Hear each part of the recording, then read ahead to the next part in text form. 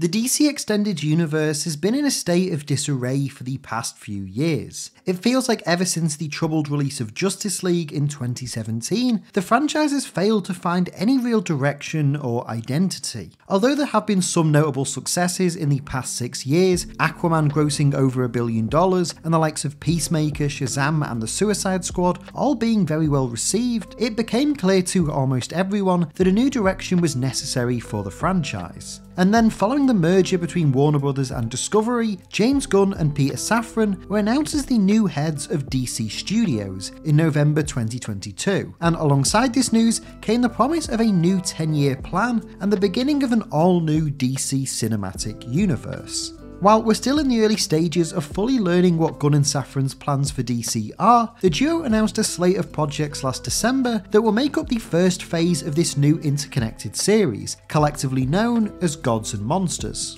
And with anticipation for these projects growing with every passing month, I wanted to highlight some of the comic books that are seemingly serving as inspirations for these already announced DCU projects. So in this video, I want to discuss every upcoming DC film and TV series and the comics that have been talked about as being major influences, explain their history and significance, and what these books might tell us about the exciting future of the DC universe.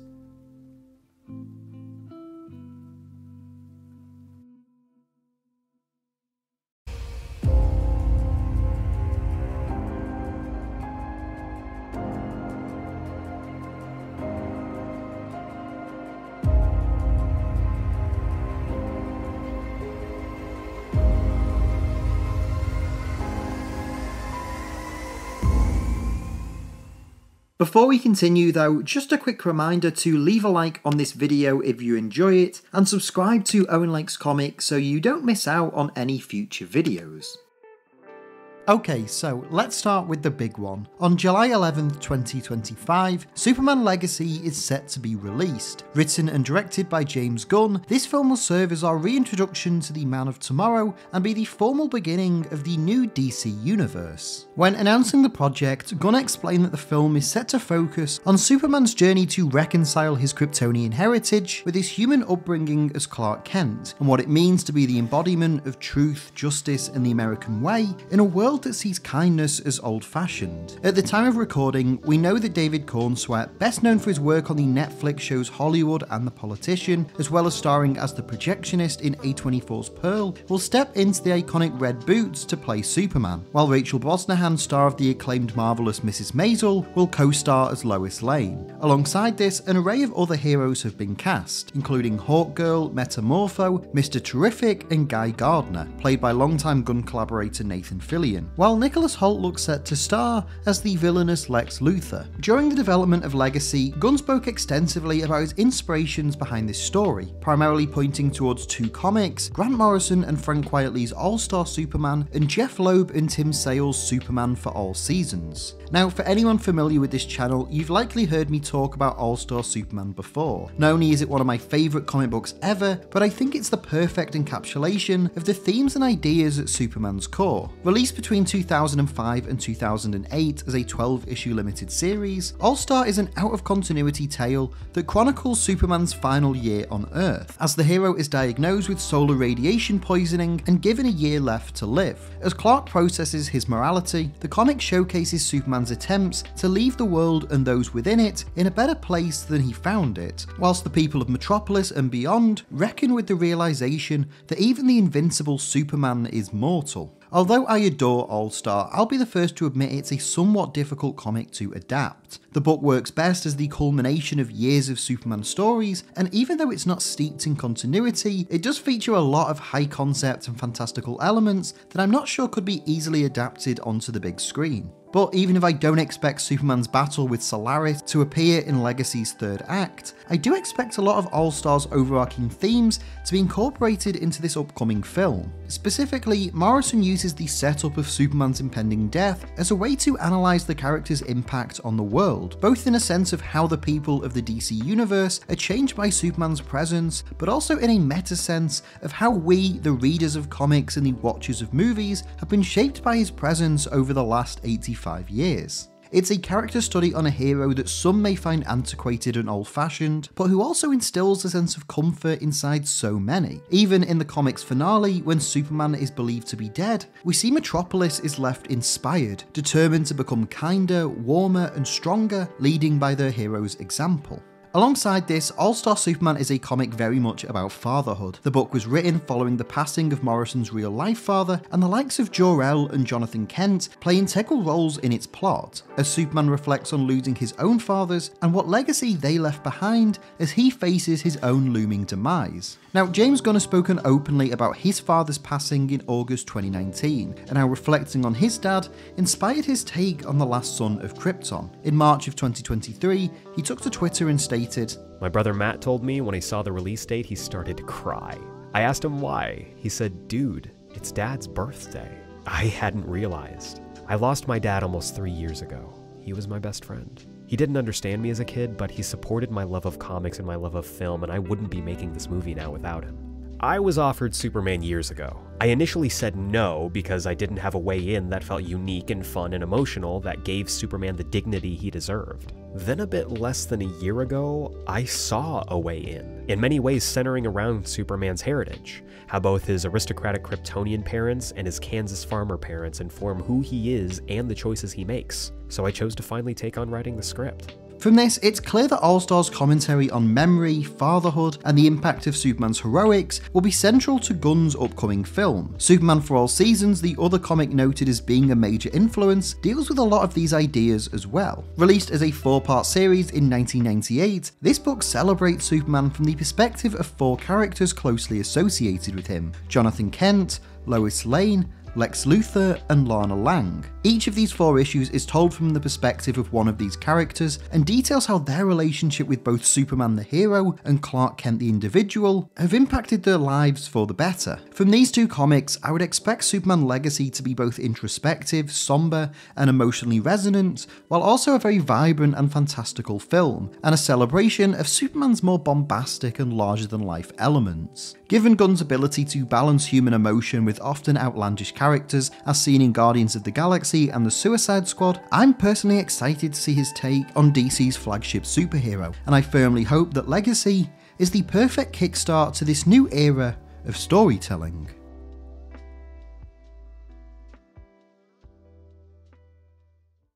While I was in the process of writing this video, it was reported by Deadline that the engineer, a founding member of the Wildstorm superhero team, The Authority, was set to appear in Superman Legacy. The Authority have long been rumoured to have some sort of presence in Gunn's upcoming film, before spinning off into the already announced solo project. So in the spirit of opening things up to a bigger universe, I've invited a few guests into this video to talk about certain books and characters that they're more qualified to discuss than me. And right right now, allow me to hand the video over to Nando V Movies, who will explain who the Authority are, what we can expect from their eventual solo film, and what role they might serve in Superman Legacy, as well as in the wider DC universe.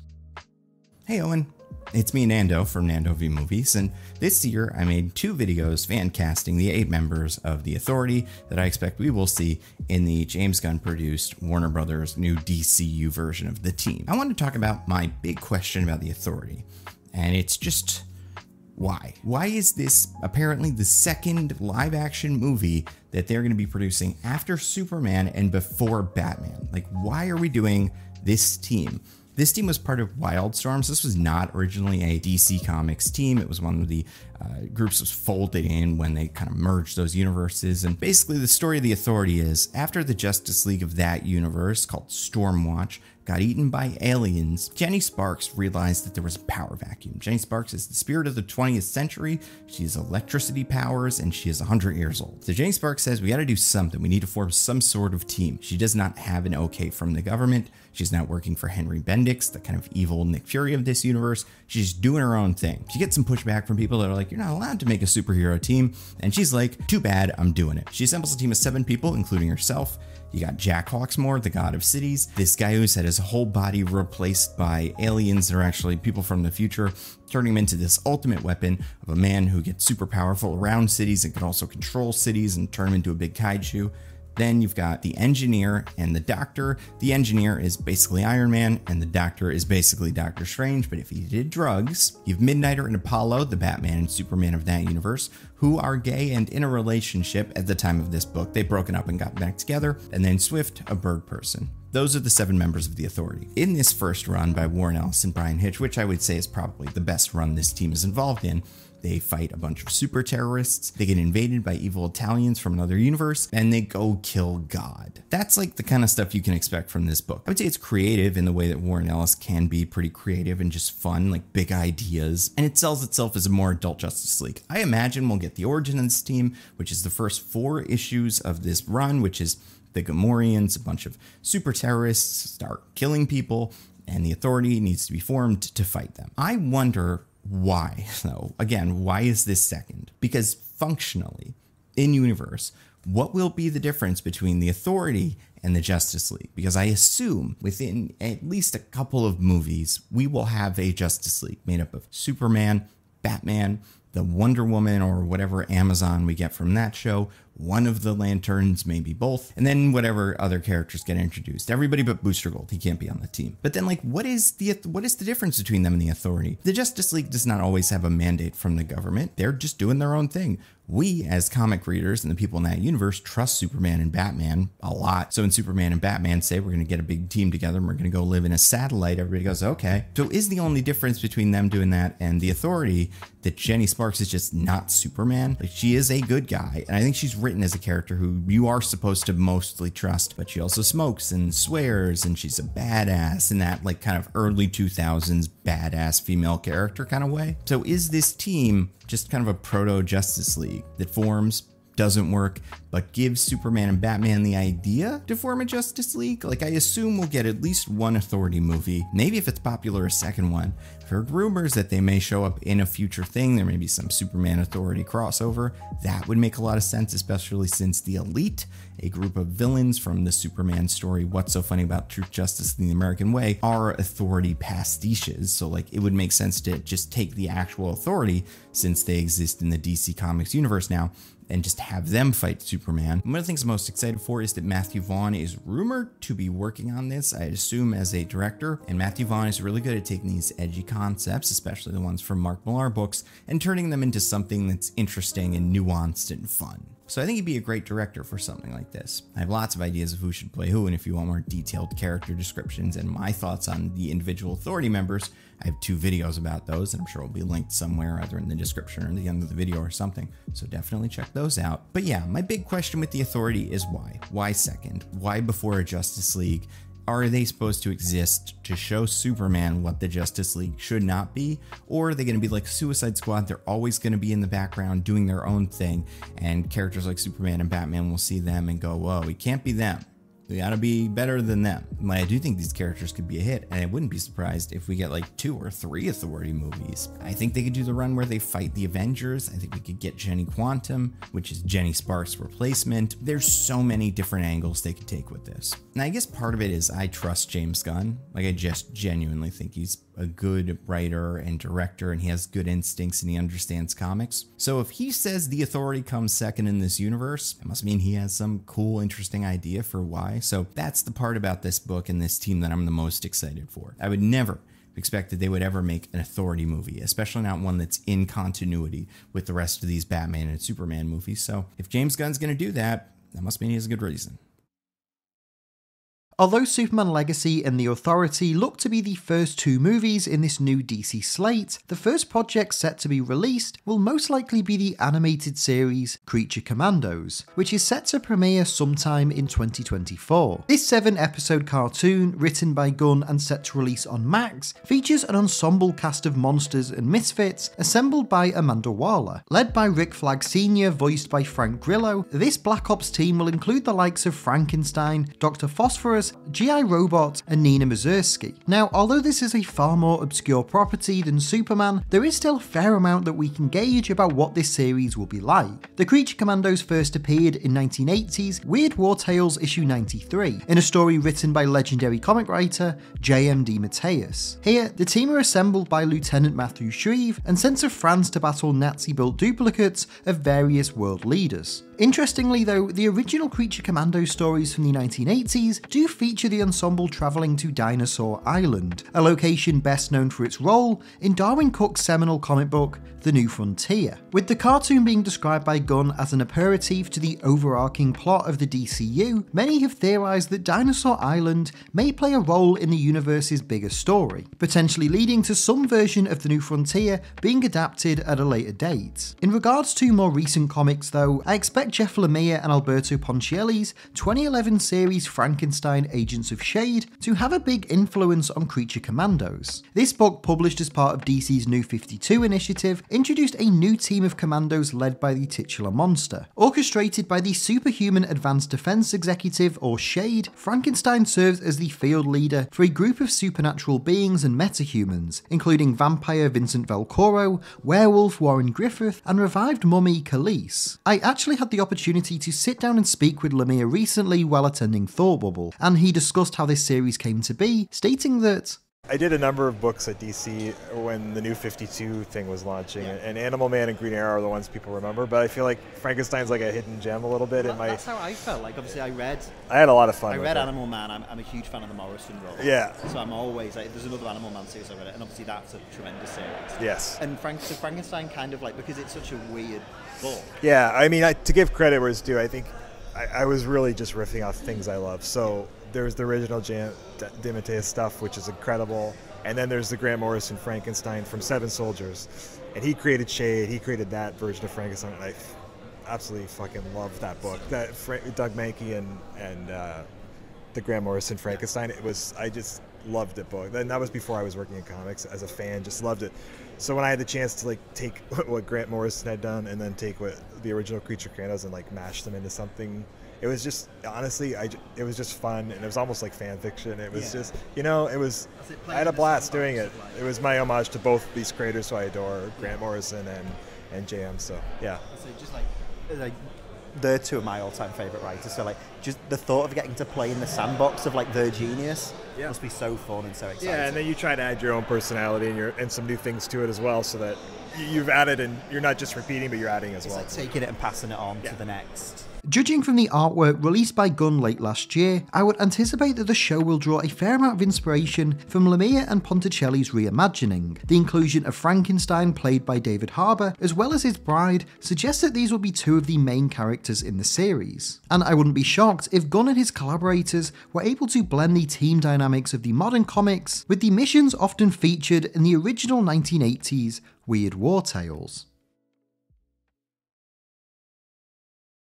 A DC project that has long been in development is a TV series centered around the Green Lantern Corps. First announced back in 2020, Seth Grahame-Smith and Mark Guggenheim initially developed a show that would start a team of lanterns, including Guy Gardner, Jessica Cruz, and Alan Scott. In early 2021, Finn Wittrock was cast as Gardner, while Jeremy Irvine joined the cast as Scott. However, after this, things didn't really seem to materialise, and by October 2022, it was reported that the show was being heavily retooled. Soon after, Gunn and Safran unveiled their plans for a series simply named Lanterns, which would star John Stewart and Hal Jordan as they uncover a terrifying mystery that would inform the larger story of the DCU. This show, pitched as being inspired by HBO's True Detective, was promoted using images from Gabriel Hardman and Corinna Bechko's Green Lantern Earth 1 series. Published as two volumes released in 2018 and 2020, Green Lantern Earth 1 offers a unique take on the cosmic side of DC's universe. Set in a distant future, it introduces Hal Jordan as a disillusioned astronaut who, while on an interstellar mining mission, discovers the body of an alien wearing a green ring, and upon examining it, is attacked by a fleet of robots known as the Manhunters. After fleeing with the ring, Hal journeys throughout space to learn the truth behind his new power, discovering that the Green Lantern Corps were once the universe's main peacekeepers until they were killed by their creators, the Guardians. After being kidnapped by the Manhunters, Hal leads a slave revolt on Oa and confronts the last surviving Guardian before finding the central power battery and using it to restore his ring to its full power. As the first of a new wave of Lanterns, Hal's mission to maintain peace across the cosmos bring him into conflicts with various foes, from Manhunters to an army of Yellow Lanterns. Throughout the book's story, several familiar characters are introduced, Kilowog serves as Hal's closest ally in Volume 1, while both Sinestro and John Stewart are introduced in Volume 2, with the latter following in Hal's footsteps after he's trapped in an alternate universe. This series is a radical reinvention of the Green Lantern mythos, and one of the most intriguing comics that I've read in the past few years. Both volumes are genuinely tremendous, blending the classic status quo of the Lantern Corps with a sci-fi horror tone reminiscent of films like Alien and 2001. Although the Lantern show has been confirmed to be Earth based and will likely be set in present day to connect within the larger DC universe, I think the Earth 1 comics offer a lot of exciting avenues to reimagine Hal and John as characters. I would expect that some of the visual styles and characterizations from these comics will be adapted into the show, in tandem with the seminal Green Lantern run by Geoff Johns, which defined much of the team's modern history and lore in the years following Hal Jordan's resurrection. It's also worth noting that Hal's ascendancy to become becoming a superhero is a significant part of the New Frontier comic, so it's certainly possible that whatever mystery he and John Stewart might be investigating in their series could possibly be connected to Creature Commandos and a plot that would eventually result in the formation of the Justice League.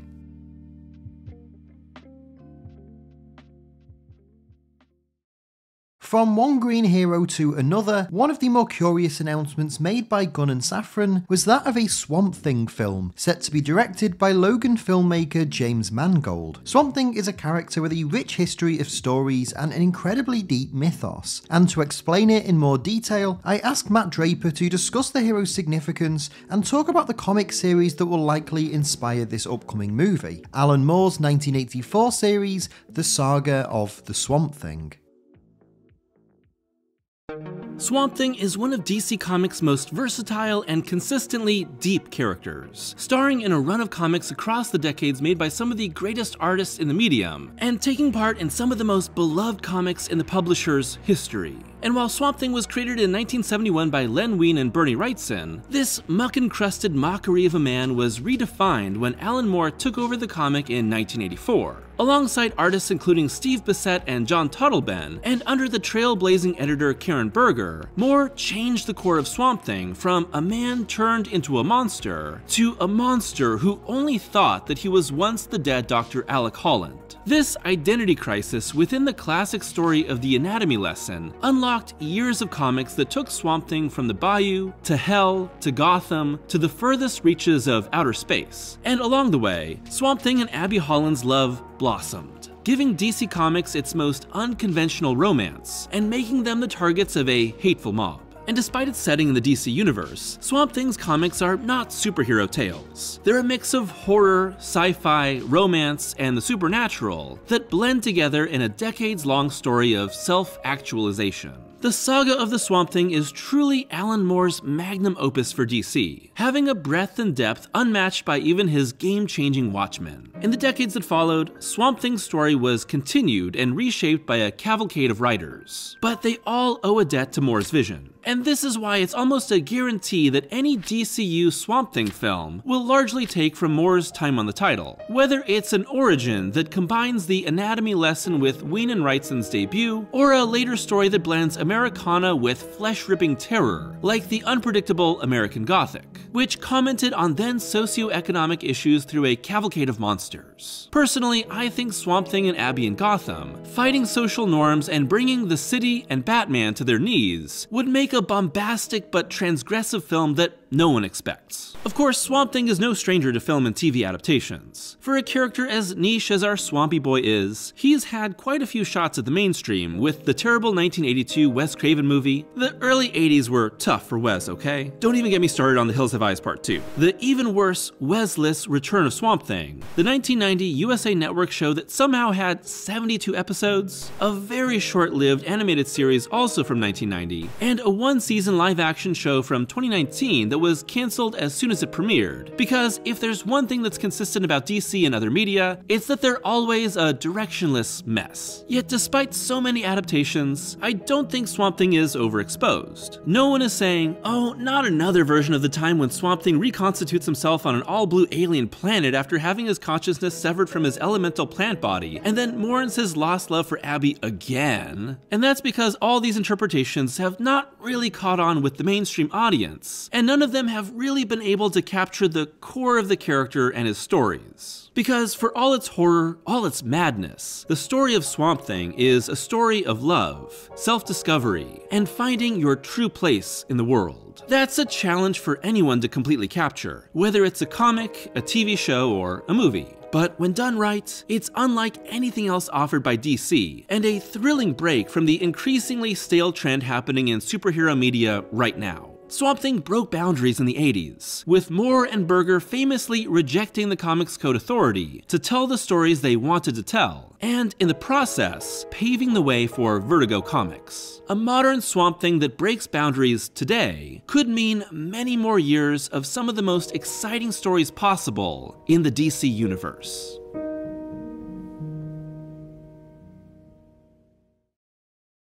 When James Gunn and Peter Safran's plans to reboot DC were first announced, one of the main things people speculated on was the future of Batman. Initially, Ben Affleck had portrayed the Cape Crusader in 2016's Batman v Superman and 2017's Justice League, but had seemingly exited the role following the latter's troubled production. Plans for an Affleck directed solo film, which would see the hero face off against Deathstroke, never materialised, and in its place, a new out of continuity Batman film was developed by Matt Reeves. Released in 2022, The Batman, starring Robert Pattinson, Zoe Kravitz, and Paul Dano, was met with heavy critical acclaim. For me personally, The Batman is one of my all time favourite comic book films, and one of my favourite takes on The Dark Knight outside of the printed page. However, although a sequel is set for release in 2025, it won't be brought over into the new DC universe. Instead, another version of the Dark Detective will be introduced in a film titled The Brave and the Bold.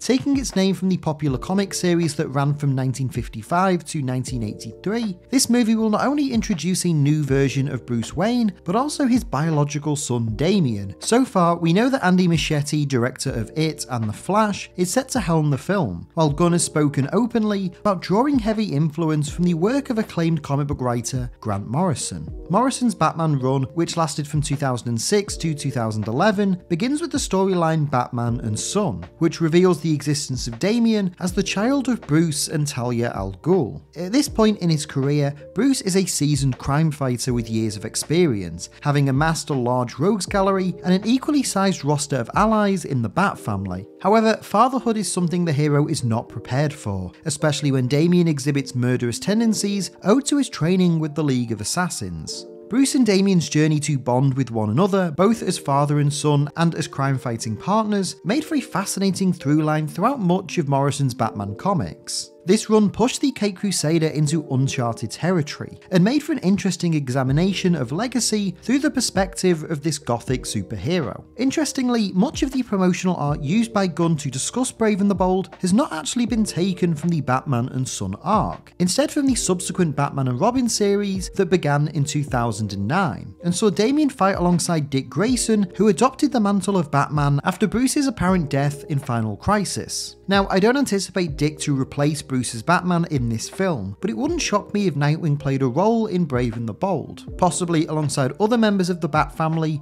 like Barbara Gordon and Jason Todd. I think including a wider cast of characters would help differentiate this film from Reeves and Pattinson's series, as would focusing on the more fantastical and supernatural aspects of the Batman mythos. Although James Gunn recently noted that Brave and the Bold is still very early in development, I think a good way to go would be including characters like Ra's and Talia al Ghul, Man-Bat, and other superpowered foes that would be less likely to appear in any of the Matt Reeves Batman projects. And if they do intend to closely adapt Morrison's celebrated run, we could even see stories like the surreal and postmodern RIP, the James Bond inspired Batman Incorporated, or even potentially Battle for the Cowl, and Dick Grayson's time as the Dark Knight at a later date. Even though I initially expected that Robert Pattinson would be the Batman of this new universe, I think adapting this particular era of Batman comics opens up a lot of interesting possibilities for Gunn, Safran and Muschietti. And if the movie turns out to be anywhere near as good as the comics that inspire it, I believe that Brave and the Bold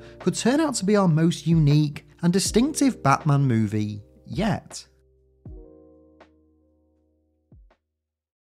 But before we continue, I just want to take a minute to talk to you about Binary Sea, an exciting new comic produced by Graham Blackerby, best known on YouTube as Captain Midnight. The comic is currently being crowdfunded on Zoop, and Graham recently sent me the first issue to read. Honestly, I thought it was fantastic. Binary Sea details the supernatural story of a group of pirates aboard the HMS Pontus, who encounter unspeakable threats where sailors least expect them. From the opening page, it feels like such a lived in world with a compelling mystery, along along with an intriguing set of characters and a real sense of tension that builds as the issue unfolds. The artwork immediately wowed me too, with Jason Pipperberg's pencils and Luca Romano's colouring making the comic look absolutely tremendous. For just $2, you can purchase the first issue of Binary Sea, and if you want to support the crowdfunding campaign, there's a huge list of perks and rewards, from variant covers inspired by Amazing Fantasy 15 to your own hour-long consultation with Captain Midnight himself, perfect for any aspiring comic or video creators. If you want to support the campaign or get more info, click the link in the video description or go to zoop.gg slash c slash binarysea. Thank you to Binary Sea for sponsoring today's video.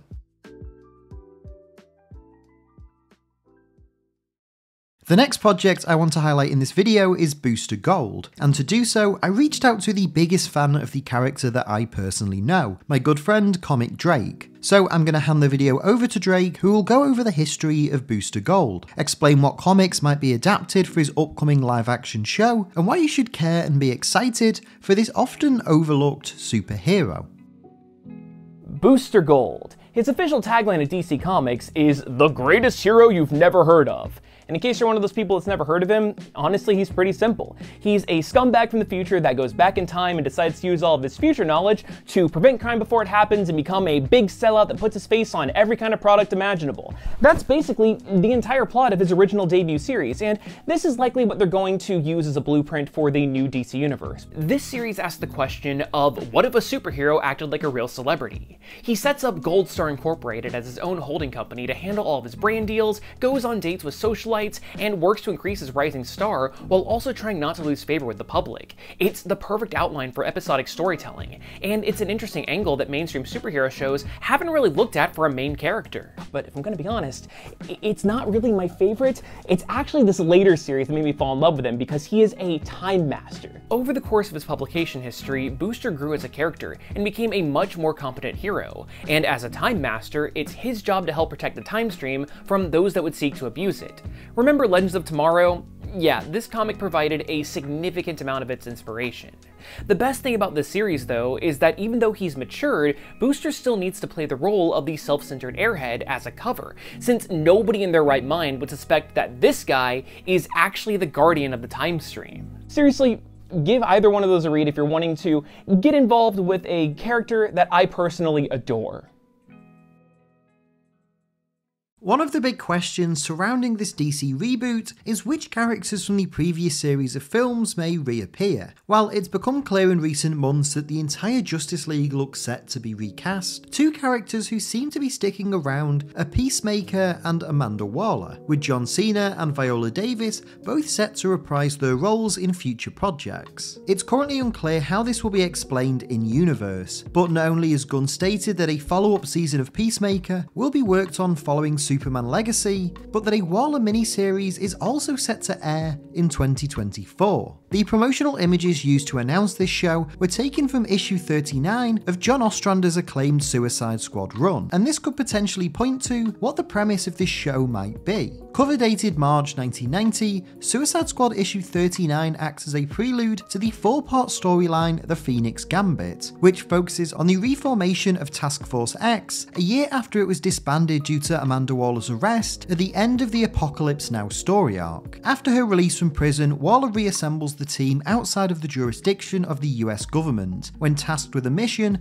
to prevent a confrontation between American and Soviet troops in the war torn nation of Vltava, enlisting the likes of Captain Boomerang, Deadshot, Bronze Tiger, and Poison Ivy, as well as forging an uneasy alliance with Batman, the squad heads to Europe to prevent the Cold War from escalating in its dying days. The Phoenix Gambit is a classic Ostrander Suicide Squad story, and the writers' attempts to rebuild the ensemble following the events of the Janus Directive and Apocalypse Now storylines. And I think this soft reintroduction to the world of Amanda Waller could be a smart way of bringing the character back in the new DC universe. It's been stated that this series, which is being developed by Jeremy Carver and Christal Henry, will follow on from the events of Peacemaker, which saw the existence of the Suicide Squad being leaked to the world, so it's definitely plausible that this show may detail Waller's trial and potential arrest, and could even lead to the reformation of the squad at a later date. Alongside this, I wouldn't be shocked if a version of Checkmate was introduced into the DCU, and Waller could certainly be an avenue to do this. First appearing in Action Comics issue 598 from March March of 1988, Checkmate is a United Nations task force that monitors superhuman activity across the globe, and similar to the Suicide Squad, recruits heroes to perform covert missions, often to prevent international incidents. Although the modern iteration of Checkmate introduced by Greg Rucka and Jesus Saiz in 2006 has focused on them as a UN superhero team, the group was initially started by Amanda Waller as a parallel division to Task Force X, so it's certainly plausible that the events of the Waller show may result in either the reformation of the Suicide Squad in the new DC universe or the creation of Checkmate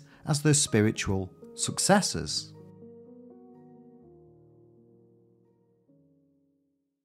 One would assume that anyone attempting to build a DC universe would place the company's Trinity front and centre. While Batman and Superman are both set to debut in their own live action films, a somewhat unexpected project was announced by Gunn and Safran that will serve as our introduction to Wonder Woman. Unveiled in December 2022, Paradise Lost is an upcoming TV series airing on Max that will focus on the history of Themyscira and the Amazons. Describing the series as akin to Game of Thrones, Paradise Lost seems to be a period piece set years before Diana's journey to man's world, detailing the origins of Paradise Island and the society that Wonder Woman emerges from. This decision was likely influenced by the fact that a series of Wonder Woman films starring Gal Gadot and directed by Patty Jenkins have been released in recent years, and by retelling the hero's origin here, you can build over the course of the show to introducing a new version of Diana Prince. However, I think it's worth noting that even before Gunn and Safran's appointment as the heads of DC Studios, an Amazon-centric project had been in the works for some time. As far back as 2019, Patty Jenkins Jenkins had spoken about wanting to develop a film focused around Paradise Island that would act as a bridge between Wonder Woman 84 and the third installment in the series.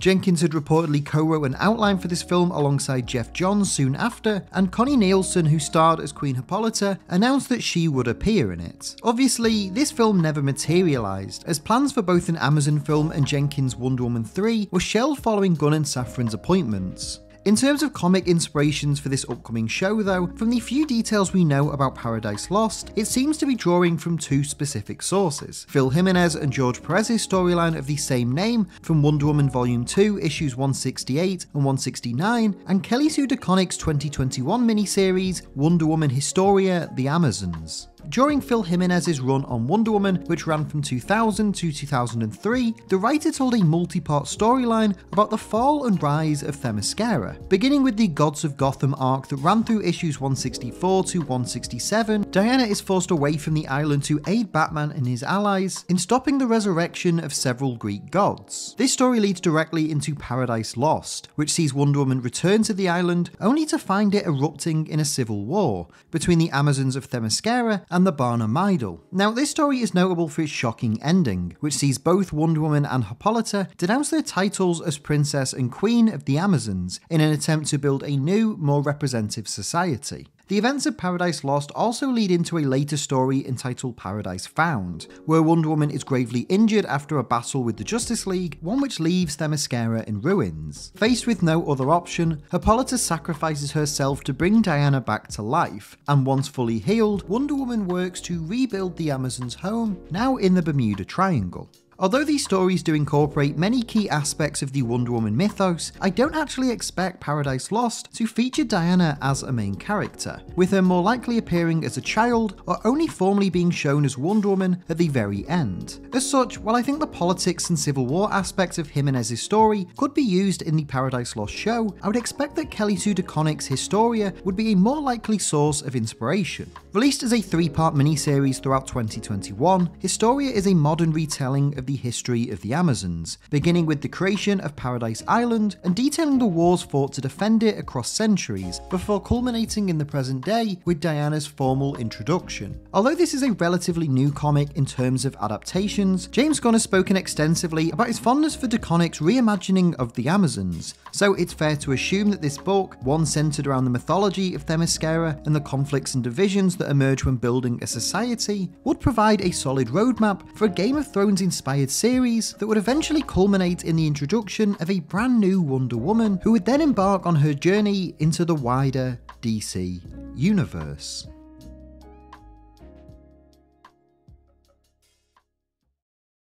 On the subject of recently released comics being adapted into this new DC universe, though, perhaps the greatest example of this is Supergirl Woman of Tomorrow, a film that is set to adapt the acclaimed 2021 miniseries by Tom King and Bilquis Evely. Just this week, it was announced that actress and playwright Ana Nogueira had been hired to write the screenplay and bring this celebrated comic to life. And to explain its premise in more detail, I asked Patrick Willems to overview what exactly Woman of Tomorrow is, why James Gunn and Peter Safran might have been so keen to adapt it, and why this might actually be the most exciting DCU project currently announced. Supergirl Woman of Tomorrow is an eight issue DC Comics miniseries written by Tom King, drawn by Bilquis Evely, with colors by Matt Lopez, and it is one of my favorite comics of the past, like, decade. If you have no experience with the character of Supergirl, this is a pretty perfect introduction since 90% of the characters are brand new, created just for this story. None of it is set on Earth, none of Supergirl's regular supporting cast show up other than Krypto the Superdog, and, and Comet the Superhorse, and it is just generally totally disconnected from the rest of the DC universe. The simplest pitch for this comic book is that it is true grit in space. If you're not familiar with True Grit, whether the original book by Charles Portis, or the original movie with John Wayne, or the other movie by the Coen brothers, it's basically about a girl whose father is murdered, so she hires this crusty old cowboy to help her track the guy down and get revenge. And Supergirl Woman of Tomorrow has pretty much the exact same premise, except obviously it's set on a different planet in outer space, and instead of a crusty old cowboy, the girl hires Supergirl, who she finds getting drunk on her 21st birthday in an alien bar. The comic is about their journey through space on the hunt for this really bad dude named Krem of the Yellow Hills, and it manages to pull off this really beautiful thing, in that it totally works as one complete story across the eight issues, basically a graphic novel, but also each issue functions as its own story, so you get the best of a graphic novel and single issue comics at the same time. And those individual stories are great, with Supergirl and Ruthie, the girl who wants revenge, who's also the narrator, traveling to different alien planets and experiencing different alien cultures. One of my favorites is an issue where they end up stranded on this planet where the sun saps Supergirl's powers, and the planet is also full of horrifying, monstrous alien dinosaurs. So Ruthie has to protect Supergirl all day while she's like unconscious until the sun goes down and she gets her strength back. And in another issue, Ruthie learns about Supergirl's tragic backstory, where she experienced the destruction of Krypton as a teenager, not a baby like her cousin Superman. And so again, if you know nothing about Supergirl, this is a perfect intro, and I think that's a big part of why they chose this to make into a movie. So yes, it is technically a superhero story where, you know, Supergirl punches aliens, but mostly it's this lovely, bittersweet, coming-of-age story about grief and revenge, and this is where I have to mention the art, because this is straight up one of the most beautiful looking things mainstream comics have published this century. Evely's line work has a really organic quality with delicate brushstrokes and odd, rough, pointy edges that really excel when illustrating motion and speed, as well as detailed alien landscapes. Like, just the way she draws hair is more interesting than most entire comics. She, along with Lopez's subtle, pastel tinged colors, make this really stand out amongst a sea of superhero comics.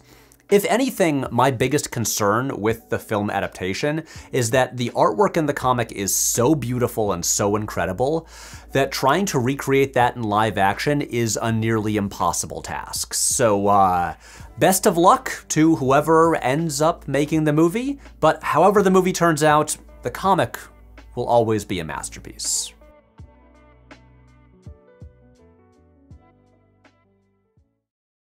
So, by looking at each of these 10 announced projects for the new DC universe, there are a couple of themes and recurring ideas throughout them. Firstly, it's clear that James Gunn and Peter Safran are keen to put the previous era of DC films behind them and distance this new series from any previous cinematic endeavours. Although a small handful of characters look set to return in some capacity, the vast majority of heroes and villains that will appear in these upcoming projects will be portrayed by all new actors, with no references to either the DC Extended Universe or any earlier live action films. By offering that clean slate, by the time that Superman Legacy releases in July 2025, audiences will have had time to process the end of the old series of movies, following Aquaman 2's release this December, with Joker Folie à being the only release in 2024, and that film being clearly labelled as an Elseworlds project. Alongside processing that the series of films which began with 2013's Man of Steel is officially over, this separation will enable people to learn about and grow excited for DC's future, with production on the likes of Supergirl, The Authority, and Lanterns likely set to begin in 2024 and 2025, meaning that in addition to building up to meeting our new Superman, tons of info will be made available about these other exciting corners of this fledgling universe.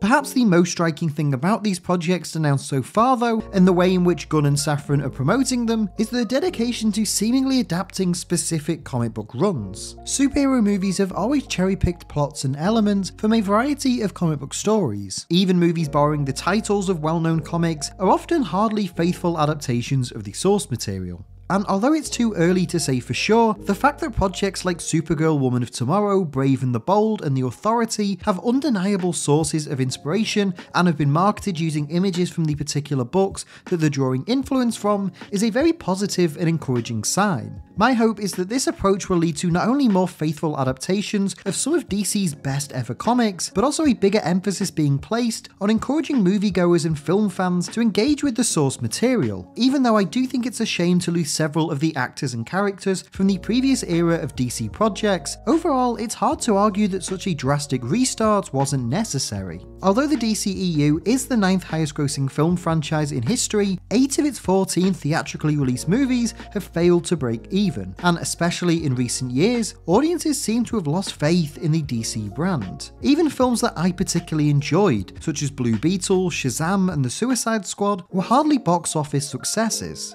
And in order to win back the general audience, the company has to rebuild and provide a clear distinction between the previous era of films and this new universe that's coming in the next few years. As someone who grew up on DC Comics and loves so many of these characters and stories, I genuinely hope that the DCU and this first Gods of Monsters chapter will be a successful reintroduction to the company's universe and remind audiences of how brilliant and awe inspiring so many of their characters are. I've always been a big fan of James Gunn as a storyteller and a filmmaker. In my opinion, his Guardians of the Galaxy trilogy are some of the absolute highlights of the MCU, and both of his DC works so far, The Suicide Squad and Peacemaker, have been amongst my favourites released by the company in recent years. It's obvious that Gunn is a talented writer, director, and someone with a deep love of comics and superheroes, and I sincerely hope that along with Peter Safran and the other talented writers and visionaries around them, that they're able to bring DC back to the height of popular culture. But as we anxiously wait for this new universe to begin over the next two years, there's an abundance of amazing stories out there on the printed page, and they will seemingly light the way for this exciting new beginning of the DC universe.